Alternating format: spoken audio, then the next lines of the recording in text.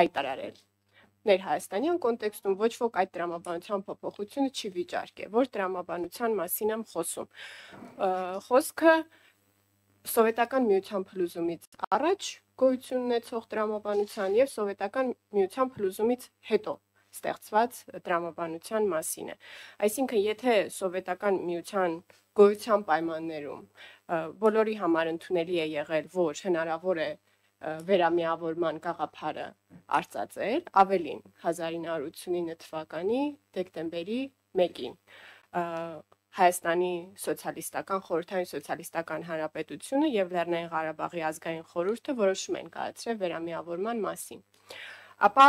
սա տեղի ունեցել խորհրդային միության փլուզումից առաջ եւ շատ հաճախ երբ Հայաստանին մեղադրել են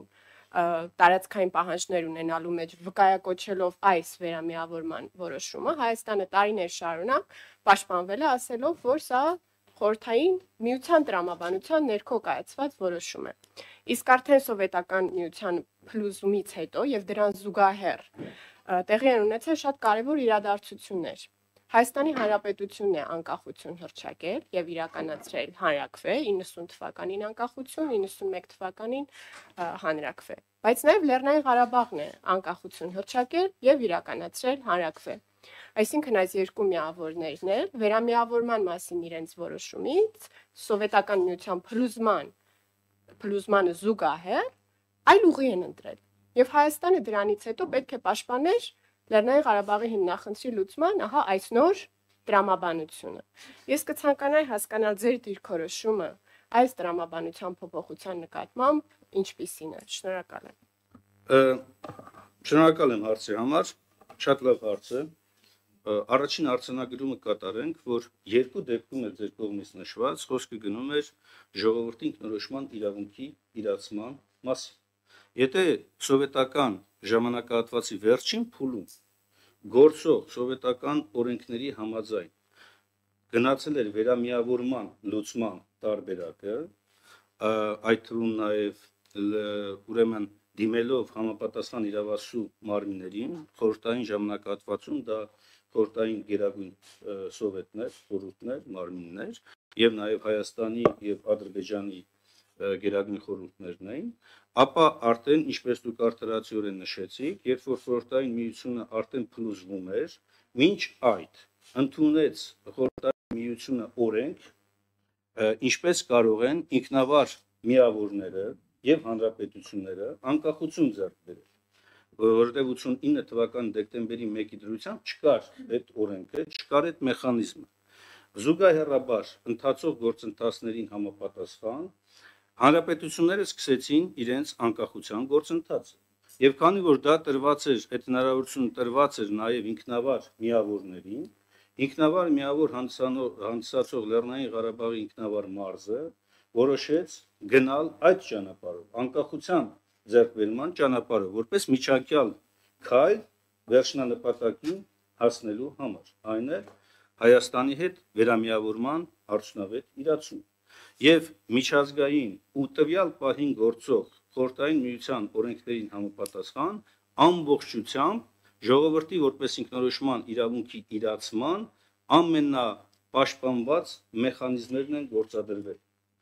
Այլ է խնդիրը, որ զուգընթաց այս ամենին տեղի ունենում նաև մյուս հանրապետությունների անկախության գործընթացը։ Ես ուզում եմ հիշեցնել, որ երբ որ Ադրբեջանը օգոստոսի 30-ին ընդունեց իր անկախության ակտը, սեպտեմբերի 2-ին արդեն Լեռնային Ղարաբաղի Հանրապետությունը հայտարարեց իր անկախության մասին, սա ամբողջությամբ տեղավորվում էր հենց այդ պահին խորտային օրենքների շրջանակներում։ Եւ երբ որ արդեն Լեռնային Ղարաբաղի Հանրապետությունը, Արցախի Հանրապետությունը արդեն հանրակրվեով հաստատեց այս ամենը դեկտեմբերի 10-ին արդեն լիարժեքորեն եւ ամբողջությամբ խորհրդային օրենսդրության կանոններին համապատասխան, ես ուզում եմ հիշեցնել, որ դեկտեմբերի 10-ին դեռևս գործում է խորհրդային միությունը։ Անկախությունը ստացավ, ստացավ միջազգային իրավունքի սկզբունքներին համապատասխան։ Բոլոր մյուս վկայակոչումները, որոնք փորձ է արվում ներկայացնել, թե իբր կա հակասություն ինքնորոշման իրավունքի առաջին ձևի, այն է վերամիավորման եւ հետո անկախության ձեռքբերման ճանապարհով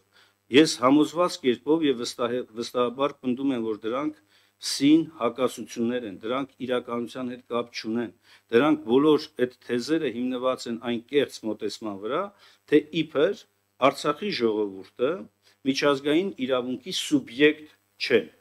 Միջդեռ ժողովուրդը Արցախի ժողովուրդը իր իրավունքն իրացրել է առաջին դեպքում, որպես իր ներկայացուցիչների միջոցով իրականացված քայլ, քաղաքական իրավունք, այն է վերամիավորման, երկրորդ դեպքում անմիջականորեն նաև որպես հանրակրվեյով հաստատելով իրենց ինքնորոշման իրավունքի իրացման այս ճանապարհը։ Եվ Հայաստանը, որտեղ գրել է, այո, ուրեմն պաշտպանություն Արցախի ժողովրդի ինքնորոշման իրավունքի։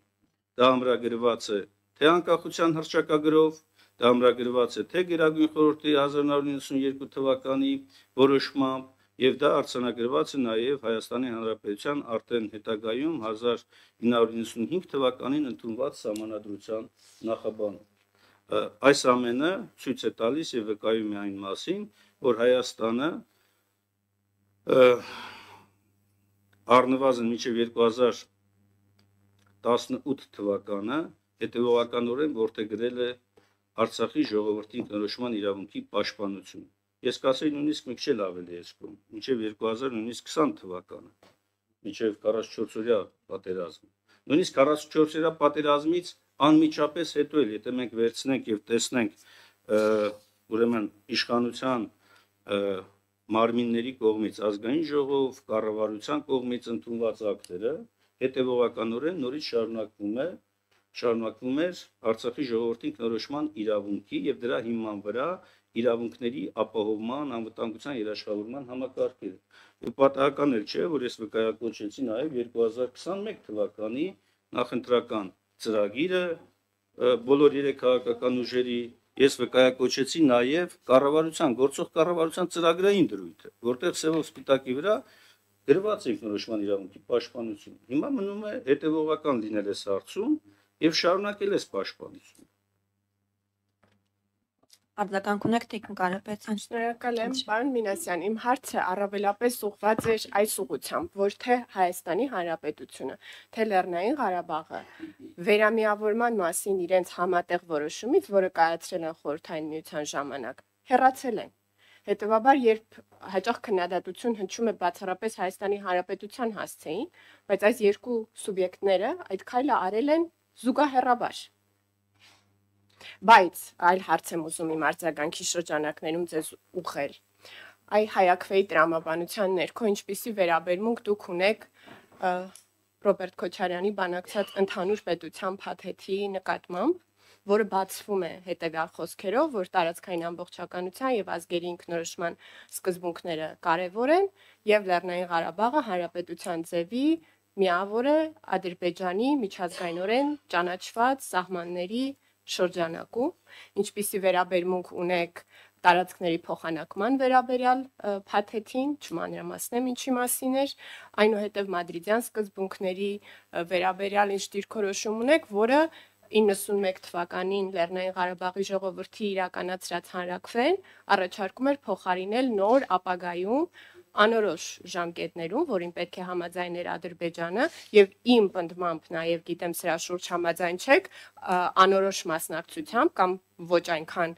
հայանպաստ մասնակցությամբ ապագա հանրակրվեով, ինչ վերաբերմունք ունեք Եվրոպայում անվտանգության խարտիայի, Ստամբուլյան խարտիայի վերաբերյալ, որտեղ համոզված եմ փնտրել եք ազգերի ինքնորոշում բառակապակցությունը չկա, փոխարենը կա, որ մարդու իրավունքները եւ ազգային փոքրամասնությունների իրավունքները պետք է բացառապես ամրապնդեն երկրների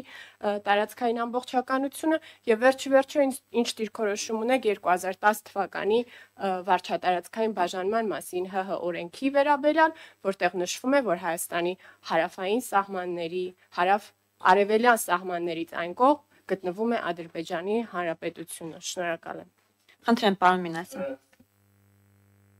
Շնորհակալ եմ հարցերի համար, արձագանքի շրջանակներում տրված նոր հարցերի։ Տեսեք, երբ որ դուք ասում եք քայլեր չեն իրականացել վերամիավորման ուղղությամբ, դա այդպես չէ։ 1990 թվականի Հայաստանի Հանրապետության Գերագույն խորհրդում եղել են Արցախի ներկայացուցիչներ մասնակցությամբ, падգամավորական մանդատով կոչված։ Եվ բացի դա, այս ընթացքում, եթե ուշադիր ուսումնասիրեք Հայաստանի Գերագույն խորհրդի կողմից ընդունված բազմաթիվ ակտեր, այդ թվում նաև Գերագույն խորհրդում եղել է հանձնաժողով Արցախի եւ Հայաստանի վերաինտեգրման մասով եւ իրականացված կոնկրետ գործողություններ, ընդունվել են բազմաթիվ ակտեր, այդ թվում նաև ներկայացուցչական մարմինների ստեղծման մակարդակով, դրանից հետո նույնպես ընդունվել են բազմաթիվ ակտեր, իդեպ որպեսզի այս հստակ կապը երևա, որ ինքնորոշման իրավունքի անկախության ճանապարհը եղել է միջանկյալ քայլ, դրա վկայությունն է նաև այն, որ Հայաստանի եւ Արցախի ազգային ժողովների միջև եղել է համաձայնագիր։ Այդ համաձայնագրի համաձայն գործել են երկու երկրների միջխորհրդարանական հանձնաժողովը։ Եվ ցավոք սրտի վերջին արդեն երկու երկուսուկես տարի է, որ այս հանձնաժողովը փաստացի չի գործում, որովհետև դուք էլ բազմիցս ականատես եք եղել նաև մեր պահանջներին, որ պետք է հանդիպում տեղի ունենա, պետք է քննարկում տեղի ունենա ստանձնած Հայաստանի կողմից ստանձնած պարտավորությունների, այդ թվում ազգային ժողովի կողմից ստանձնած պարտավորությունների իրացման ճանապարհը ճանապարհային քարտեզը պետք է մոնիտորինգի ենթարկվի եւ ասվի թե ինչը պետք է անել եւ այլն եւ այլն։ Եվ հետեւաբար բացարձակ համաձայն չեմ այդ մտքի հետ, թե իբր վերաինտեգրման ուղղությամբ կամ վերամիավորման ուղղությամբ քայլեր չեն իրականացվել։ հա, Ավելին, Հայաստանի Հանրապետության բոլոր գերատեսչությունները, բոլոր ունեցել են համապատասխան համաձայնագրեր Լեռնային Ղարաբաղի, Արցախի Հանրապետության գերատեսչությունների հետ ըստ ոլորտային առանձնահատկությունների, այդ թվում նաև ուրեմն վերամիավորման բոլոր հնարավոր քայլերը քայլերի ուղղությամբ միջոցառումներ ձեռնարկելու առումով։ Եվ այս տեսակետից էլ այս ուրեմն վերամիավորման հիմքերի առումով բոլոր համակարգերի ինտեգրացիա է գնացել։ Արցախում Հայաստանի Հանրապետության արժույթն է գործել։ Արցախում Հայաստանի Հանրապետության պաշտոնական լեզուն է գործել։ Արցախում Հայաստանի Հանրապետության քաղաքացիների ազատ մուտք ու ելք է եղել, ինչպես որ Արցախի հանրապետության քաղաքացիների ազատ մուտքի ելք է եղել Հայաստանում։ Դատական իշխանության ացիաններում եղել է համագործակցություն եւ դատական արդարադատությունը իրականացվել է համատեղ դատական ինստիտուտների միջոցով։ Այդ տեսակետից ամբողջությամբ եղել է համահունչ եւ վերամիավորման բոլոր հիմքերի ստեղծման ուղղությամբ անհրաժեշտ քայլերը կատարվել են։ Անդրադառնամ ձեր կողմից մատնանշված բանակցային գործընթացի տարբեր փուլերի։ Տեսեք, ուրեմն ամենատարբեր առաջարկները, որոնք որ ադրբեջանական, թուրքական կամ իրենց հովանավորությամբ գործող կենտրոնների կողմից փորձ են արվել ներկայացվել եւ որտեղ որ անտեսված է եղել Արցախի ժողովրդի ինքնորոշման իրավունքը, Հայաստանի Հանրապետության պաշտոնական ներկայացուցիչների կողմից բացառությամբ քաղաքացիական պայմանագիր կուսակցության կողմից ստանձնած իշխանության ժամանակահատվածում եւ Նիկոլ Փաշինյանի կողմից ստանձնած ժամանակահատվածի երկրորդ մասում երբևէ ընդունելի չեն համարվել երբևէ որևէ ձևով ինքնորոշման իրավունքի անտեսման փաստը չի համարվել Հայաստանի պաշտոնական համաձայնություն։ Հակառակը մշտապես շեշտվել է ինքնորոշման իրավունքի անհրաժեշտությունը, մշտապես շեշտվել է այդ իրավունքի ան վերադարձելիությունը, անկամ նույնիսկ դուք վկայակոչում եք ԵԱԿ-ը ուրեմն խարցյան, բայց ես ի սկզբանե ասեմ, ԵԱԿ-ը համանախագահ ԵՀԿ հենց շրջանակներում է Արցախյան հիմնախնդրի կարգավորման առաջին բանաձևումները եղել։ Մինսկի համանախագահությունը ինչ էր։ ԵՀԿ կառույցի կողմից ստեղծված եւ Արցախյան հիմնախնդրի խաղաղ կարգավորման միջազգային միակ ձևաչափն է եղել։ Եվ դուք եք դրա մասին ասել։ Բոլորն են դրա մասին ասել եւ ԵԱԿ Մինսկի համանախագահող երկրների համանախագահությամբ երկրների բոլոր հայտարարություններում ինքնորոշման իրավունքը ֆիքսված է եղել։ Այո, մյուս սկզբունքների հետ միասին տարածքային ամբողջականության, սահմանների անխախտելիության եւ այլն։ Ինչպես ուժի չկիրառման, ուժի կամ դրա սպառնալիքի չկիրառման, այո, եւ այլն։ Եվ բոլոր տեղերում ինքնորոշման իրավունքը կարմիր թելով անցել է։ Ինչ վերաբերում է ուրեմն ես կարծում եմ, որ բոլոր այն հարցերը, որոնք որ իրականության հետ կապ չունեն, չպետք է անընդհատ նետել ասպարեզ եւ փորձել դրանով ստեղծել պատկեր։ Չի եղել այդպիսի որևէ համաձայնություն։ Եվ եթե Հայաստանի ներկայացուցիչը մերժում է օրինակ Ալիևի առաջարկը նշանակում է մերժում այդ առաջարկը։ Այդ առաջարկը չի կարող այլևս քննարկման առարկա լինել։ Ինչ վերաբերում է մի վարքյան, մի վարքյան, մի վարքյան։ Ինչ վերաբերում է ինչ վերաբերում է հետեւյալին։ Ինչ վերաբերում է հետեւյալին, եւ նաեւ դա փաստն է արցանագրում Տեկին Մինասյան, փաստը։ Մինչեւ 2023 թվականի 22 թվականի հոկտեմբերի 6-ը Հայաստանի որևէ պաշտոնական ներկայացուցիչ, որևէ փաստաթղթով, որևէ բանավոր հայտարարությամբ Արցախը չի համարել Ադրբեջանի մաս։ Եվ հետևաբար պնդումները թե իբր ինչ որ բանակցային սեղանի շուրջ Ալիևը ինչ որ բան է ցանկացել, դա բերել դնել ու ասել, որ Հայաստանի պաշտոնական ներկայացուցիչները այ սենց հարցերի են քննարկում իրականացնել։ Դա абսուրդ է։ Չկա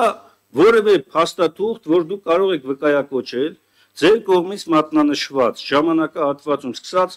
90 թվականից այս կողմ որևէ փաստաթուղթ, ինչև ձեր իշխանությունը իհարկե, որևէ փաստաթուղթ կամ որևէ բանավոր անգամ հայտարարություն, որ Արցախ Ադրբեջանի մաս է։ Հիմա անդրադառնամ տարածքային ամբողջականության այն չարչրկվող թեզին, իրականում Ադրբեջանի տարածքային ամբողջականությունը բացարձակապես կապ չպետք է ունենար եւ մինչեւ նորից եմ կրկնում ձեր իշխանության գալը կապ չի ունեցել Արցախի ինքնորոշման հետ Արցախի ժողովրդի ինքնորոշման իրավունքի եւ Արցախի հանրապետության հրճակման հետ երկու պատճառով. Առաջինը այն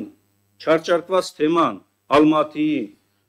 հրճակագիրը, որ անդադ վկայակոչվում է, դա բացարձակ որևէ ձևով չի կապնվում Արցախի հանրապետության հետ։ Ասեմ ինչ։ Ալմատայի հրճակագիրը, երբ որ ընդունվել է եւ որին նախորդել է նաեւ արցանագրությունը, որտեղ ստորագրվել է այդ երկրների կողմից, իսկ Ադրբեջանը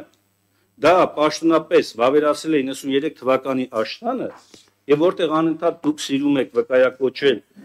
գոյություն ունեցող սահման արտահայտությունը, վերաբերում է առնվազն 93 թվականի աշնան դրությամբ գոյություն ունեցող արկա սահմանների հետ, որտեղ ոչ Լեռնային Ղարաբաղ, ոչ Հայաստանի Հանրապետության տարածքներ որևէ առնչություն չունեն Ադրբեջանի տարածքների հետ։ Որևէ առնչություն չունեն։ Բայց դուք չգիտեք ինչի, հետևողականորեն փորձում եք դա մեկնաբանել ի վնաս Հայաստանի եւ հայ ժողովրդի։ Ես չեմ ես չեմ կարողանում հասկանալ։ Ինչ վերաբերում է վարչատարածքային բաժանման մասին օրենքին։ Այո, միջազգային ընկալման տեսակետից, քանի դեռ ինքը միջազգային ճանաչում չի ստացել, որևէ ձևով այդ տարածքը համարել քո տարածքը, քո պաշտոնական փաստաթղթերում, այդ թվում նաև վարչատարածքային մասին օրենքում առնվազն անտրամաբանական։ Տեսեք, միջայլոց այդ օրենքում կա մի հատ շատ կարևոր ձևակերպում, շատ կարևոր որ դուք անդադ մոռանում եք վկայակոչել։ Օրինակ Լաչինի միջանցքի հատվածում այդ օրենքում միջև այսօր էլ ձևակերպումների համաձայն Հայաստանի Հանրապետությունը սահմանակցում է Լեռնային Ղարաբաղի Հանրապետության հետ։ Ապահովեք դա։ Ուղիղ է գրված։ Պետական սահման ԼՂՀ։ Սա ինչ չեք անդրադառնում։ Եվ վերջին հաշվով կարևոր մի բան, ես ազգային ժողովի ամբիոնցել եմ ասել։ Հարկավոր է հարցը լուրջ նաև քրեա իրավական գնահատականի արժանացնել։ Ինչն է պատճառը եղել, որ օրինակ շատ հատվածներում, այո, գրված է Ադրբեջանի Հանրապետություն։ Ինչու մենք պետք է այդ ձևակերպումը ունենալ։ Իդեպ ասեմ Նիկոլ Փաշինյանն էլ քվեարկություններից մեկում նույնպես քվեարկել է այդ ձևակերպման օկտին դեռևս հիմա լավ թիվը չեմ հիշում 2016-ը կամ դրանից առաջ այդ այդ ձևակերպմանը բայց այնուամենայնիվ վարչատարածքային բաժանման մասին օրենքը չի կարող հիմք ընդունել միջազգային հարաբերություններում ուղղակի չի կարող հիմք ընդունել չկա որևէ միջազգային փորձ, որտեղ քո ներպետական օրենքը, ներպետական օրենսդրությունը դու հիմք ընդունես։ Եթե դու իհարկե չես ուզում ճշնամուն օգնես։ Չկա ուղղակի այդպիսի բան։ Միջազգային փորձում չկա։ Այդպիսի փորձերը եվրոպական մի շարք երկրներում բերել են քրեական հետևանքների ուղղակի։ Ը, Ես կարծեմ, իդեպ